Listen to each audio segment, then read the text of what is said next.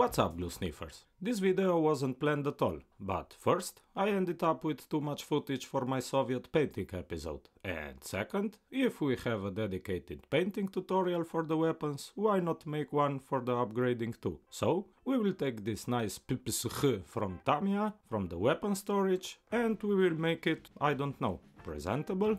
I know that cleaning goes without saying, but too many modelers, including me, sometimes neglect this part. The problem is that if you do a good job with the painting, everyone will look at those small suckers in detail, and he will see your slappy job.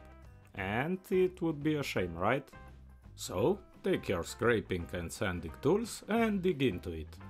At the end, extra thin cement is there to smooth things up. Every decent scale weapon deserves a hole in the barrel. The most tedious part for me is centering it. A needle in a vise helps me a lot.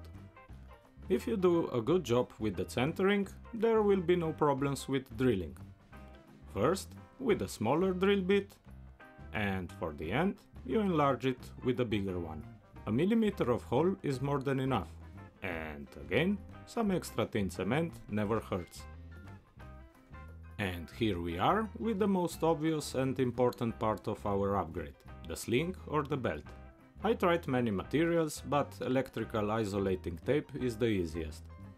A fresh surgical blade is a must. 0.5mm would be too narrow and 1mm would be too wide, so you should aim for 0.75mm stripes. I know that this seemed hard, but do some test cuts and you will be nailing them as a sniper in no time. Okay, close enough. When we are dealing with machine guns, 25mm between the attachments should be alright. For rifles and bigger stuff, you should increase the distance accordingly. If the glue on the tape was helping us a lot while cutting, now we should get rid of it. I tried with isopropanol, acetone and even nitro thinner, but the tape was even stickier at the end. So I glued the belt down with the sticky part up and painted it with some Mr. Surfacer. I was using the back of a sticker to avoid gluing the belt to the surface. You can see that I skipped the attachment area because this will help us later. Time to make the belt.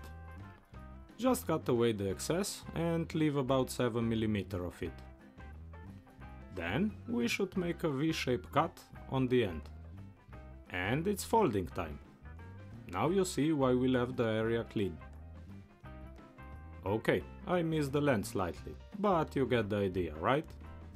Same story on the other side, but here we leave the cut straight to make some difference.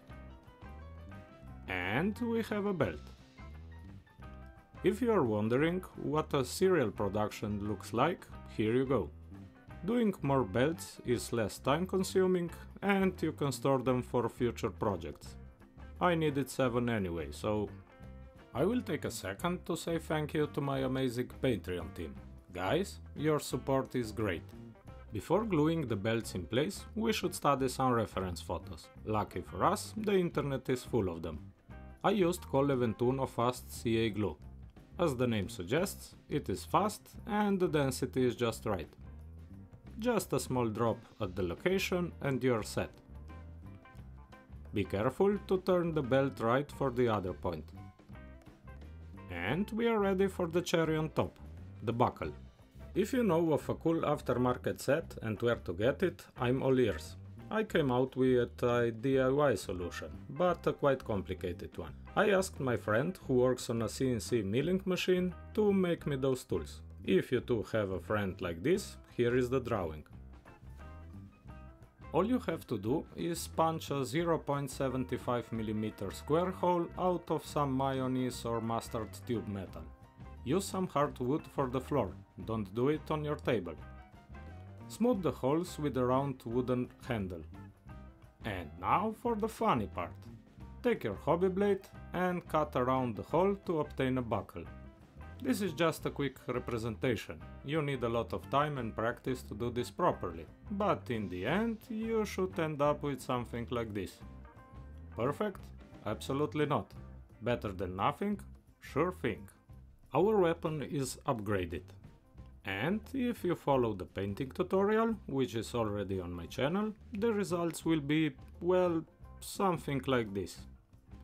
This was all for today. See you in 14 days hopefully. In the meantime, be healthy, be cool, and put some glue on the styrene too. Bye.